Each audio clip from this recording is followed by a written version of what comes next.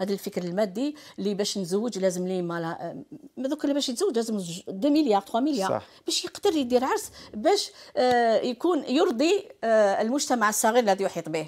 لا. لازم يتربى يتربى على القناعة ويتربى ماهوش على ماشي نقولوا زهد اجتماعي يتربى على التفكير المنطقي الاجتماعي. كما نعم. يقولوا بالدرجة كس رجليك كس لحافك صح. فوالا. ولما يشوفوه شوف العبرة لما يشوفوا الأسر باللي هذا الشاب تزوج ونجح في زواجه بمبلغ بسيط بامراه ما شاء الله الكل سيقلده أكيد. وهنا يكون هذا هو التأثير. هذا هو التأثير. الكل سيقلد. إنه اختار المرأة المناسبة ودار عرسه كما يحب هو. كما بطريقة بسيطة جدا. ونجح في زواجه يقلدوه.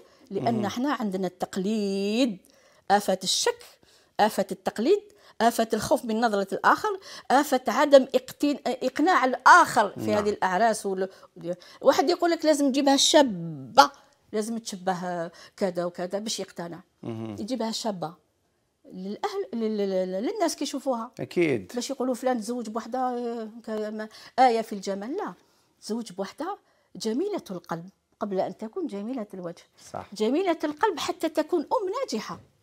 لأن جميلة الوجه راح تختار هي بجمالها يعني لك يعني يعني أنت تقولي أنه لابد للرجال أن يختاروا أمهات لأبنائهم. أمهات لأبنائهم.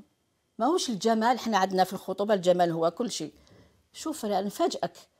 ولينا علاش الرهاب من الزواج؟ نعم. ولاو في العراس يشوفوا الفتاة اللي ترقص بطريقة بارعة يخطبوها. فعلا. وهل الرقص عامل من هذه يعني راقصة أنا نجيبها لوليدي.